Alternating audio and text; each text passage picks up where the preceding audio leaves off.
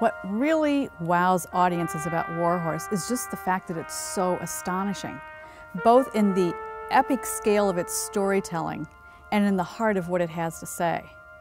It really is about how you face the challenge of narrating a story when the star actually doesn't speak. And that is beautifully addressed with the Handspring Puppet Company from South Africa. Joey is the star of Warhorse. He's the Red Bay farm horse from Devon, England. And the story follows his journey as he's inscripted into the Army for service, and his owner Albert, who's a teenager, who then embarks on a very dangerous mission to find the horse he loves and bring him home. We're cheering for the horses, we fear for the horses' safety.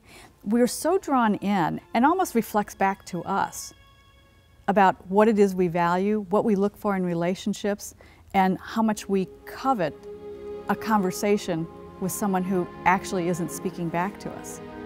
Warhorse strikes a different chord in you than the other shows we have on the season.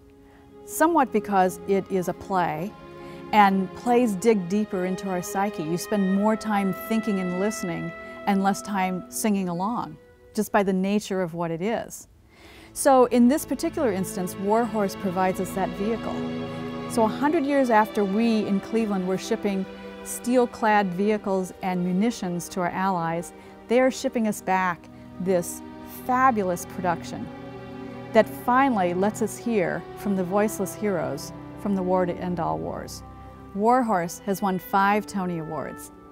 And I have to tell you, this is a do not miss. It's going to be here in April of 2013 mark your calendars and be here because you'll never ever see it produced like this again in our lifetime.